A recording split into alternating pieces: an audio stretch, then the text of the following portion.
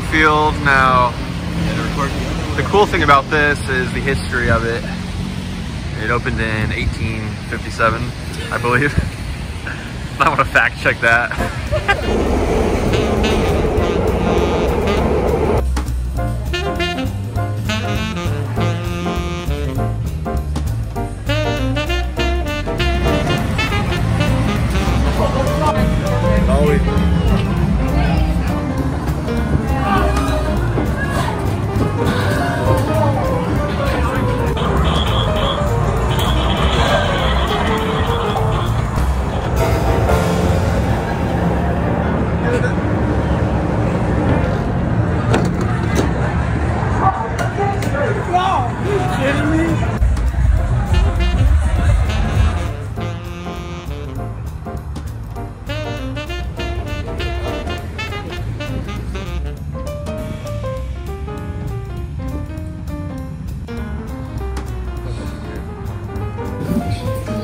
Serious.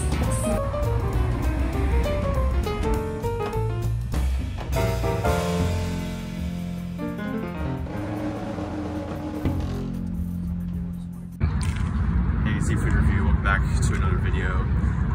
This is Chicago. Now, the cool thing about Chicago is the history of it. Uh, the city was mostly founded in the 1800s by the Pilgrims. And here's the Lake Michigan that runs through Chicago. So there's a lot of history here, and we plan on taking you on a tour today and showing you more of it. So thanks for watching. Stay tuned.